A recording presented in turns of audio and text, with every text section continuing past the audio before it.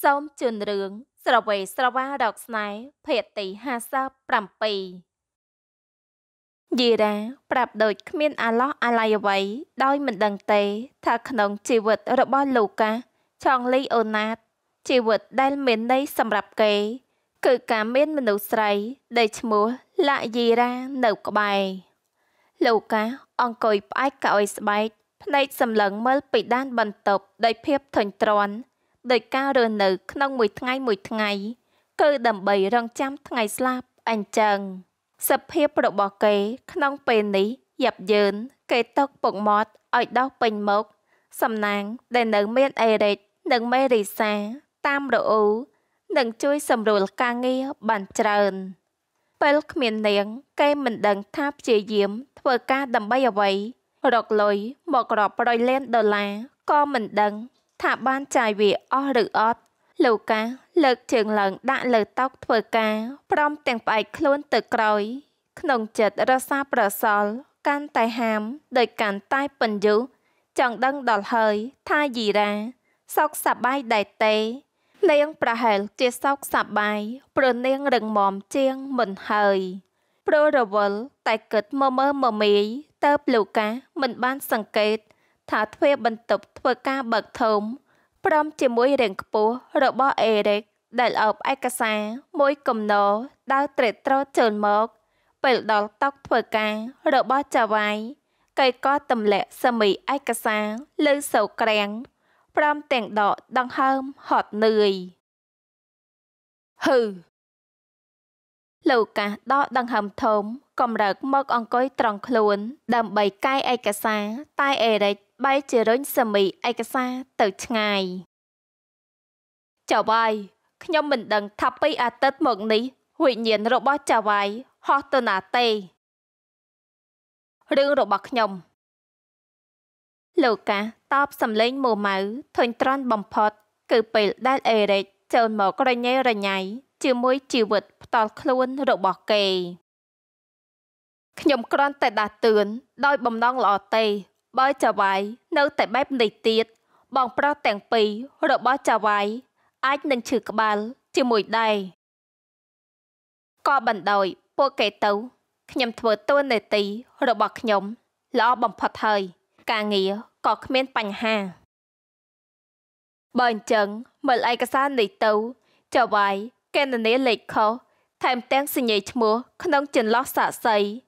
ចំនួនចន្លោះប្រធានក្រុមហ៊ុន នៃសំណាងហើយ ដែលយើងមានមនុស្សពិនិត្យម្ដងទៀតបើហ៊ានតែបញ្ជូនកិច្ចសន្យាបែបនេះចេញទៅ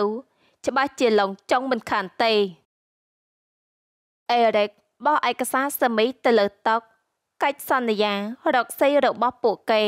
មិនមែនតែមួយទំព័រពីរដូចកិច្ចសន្យាទៅទៅទេ តែវាមានចិត្ត100ទំព័រដោយសិភៅប្រឡំលោក ដើម្បីកុំឲ្យមានបញ្ហារឿងប្តឹងផ្ដាល់គ្នាពេលក្រោយទៅត្រូវឲ្យមានការពិនិត្យឡើងវិញ ដោយមនុស្សរបស់ក្រុមហ៊ុន និងមេធាវីផ្នែកច្បាប់ចេញទៅខ្ញុំចង់នៅស្ងាត់ស្ងាត់ម្នាក់ឯង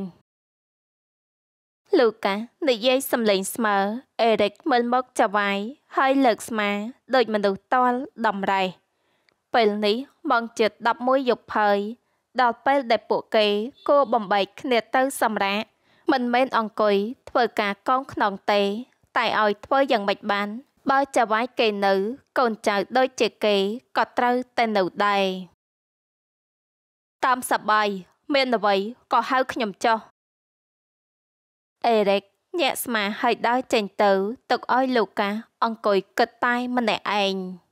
គ្រាន់តែមិនជួបនាងប៉ុន្មានឆ្នាំ គេស្ទើរតែក្រឡាប់ផែនដី តាមរកនាង ត្រូវវេទនារាល់ថ្ងៃរហូតបីដងវាស្ពឹកអស់ហើយចុះបើឲ្យគេបែកពីនាង រហូតអស់មួយជីវិតទៀតនោះតើគេនឹងអាចទ្រាំបានទេទ្រាំមិនបានទេ គេស្រឡាញ់លាក់យីរ៉ាតែម្នាក់ក៏ទោះជាមានមនុស្សដែលមានមុខមាត់ដូចនាងសំឡេងដូចនាង មកឈរនៅចំពោះមុខ ក៏គ្មានអ្នកណា អាចជំនួសនាងបានដែរលោកកាសក្រោកឈរព្រមទាំងទាញអាវធំមកពាក់ហើយយកសោឡានផ្ទាល់ខ្លួនកែភ្នែកពេញដោយភាពពុះពៀមិនអីទេ នាងមិនចាំបាច់ត្រូវជួបគេក៏បាន គេគ្រាន់តែចង់ដឹង ថាយីរ៉ាសុខសប្បាយនិងមិនខូចចិត្តជាមួយរឿងដែលកើតឡើងក៏គ្របគ្រាន់ហើយកៅអីចុងក្រោយត្រូវបានជញ្ជូនទុកដាក់យ៉ាងមានរបៀប ហើយក្រមុំទាំងពីរដែលជួយគ្នាបិទហាងក្នុងយប់ថ្ងៃអង្គារមើលមកគ្នាហើយញញឹមអាទិត្យនេះលក់ដាច់ខ្លាំងរហូតធ្វើការស្ទើរតែមិនតាន់ព្រោះមានភ្ញៀវចូលមករហូតរៀបរយអស់ហើយថ្ងៃនេះបាត់ហាងម៉ោង10សំណាងហើយដែលស្អែកនេះបាត់ហាងទៅបងកេងភ្ញាយឺតបានអឺហើ ជីវិតដូចមេឃក្រោយភ្លៀងអញ្ចឹងណបងឡារិនបើលក់ដាច់បែបនេះរហូត សង្ស័យបានពង្រីកហាងមិនខាន ថ្ងៃនេះខ្ញុំរៀបកន្លែងឲ្យភ្ញៀវអង្គុយស្ទើរតែមិនតន់ត្រូវចាំមើលសិនបើលក់ដាច់បែបនេះរហូត អាចត្រូវចូលមនុស្សបន្ថែម តែក៏ល្អលើកនេះបងនឹងបានឲ្យរេណា ជួយគ្រប់គ្រងក្នុងហាងជំនួស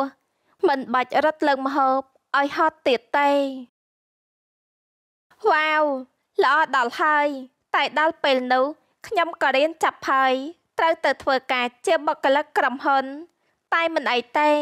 ខ្ញុំនឹងឆ្លៀតមកជួយការងារបង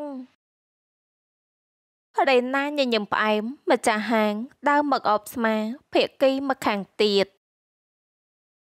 យ៉ាងណាបងក៏អរគុណរេណាខ្លាំងណាស់ ដែលជួយបងមករហូតយីរ៉ាញញឹមអឺយប់ហើយត្រឡប់ទៅផ្ទះទៅ បងនឹងបន្ថែមប្រាក់ពលកម្មសម្រាប់អាទិត្យនេះឲ្យទៀតប្រញាប់ទៅចោះតាច់អស់ឡានក្រុងរេណាត្រឡប់ទៅវិញហើយយីរ៉ាក៏បិទទ្វេហាងទម្លាក់វាំងននហើយបិទភ្លើងនាងដើរក្នុងភាពងងឹត និងសំហើយថាផ្លូវណាទៅណា រយៈពេលកន្លងមកយីរ៉ាប្រឹងតែធ្វើការ រហូតគ្មានពេលកើតរឿងផ្សេងនាងឡើងទៅបន្ទប់ងូតទឹកបដូរខោអាវរួចក៏ចាក់សោបន្ទាប់ហើយក៏ឡើងលើក្រែយ៉ាងអស់កម្លាំងនាងកេងលក់ស្រួលជាងរយប់រហូតមិនលឺសម្រាប់ជើង អ្នកដែលដើរនៅខាងក្រៅ នាងទាញភួយមកក្របបំបត្តិភាពរងាពីម៉ាស៊ីនត្រជាក់ភ្លើងឆេះសំឡេងស្រែកពីខាងក្រៅធ្វើឲ្យយីរ៉ាភ្ញាក់ព្រឺតប្រញាប់ងាកឆ្វេងងាកស្ដាំរកមើលប្រភពសំឡេងមុននឹងបើកភ្នែកធំធំយ៉ាងតក់ស្លុតពេលឃើញផ្សែងចេញពីមាត់ទ្វាររឿងស្រវេស្រវារកស្នេហ៍ភាគទី57ក៏សូមបញ្ចប់ សម្រងចាំស្ដាប់ភាគទី58ដែលជាភាគបន្ត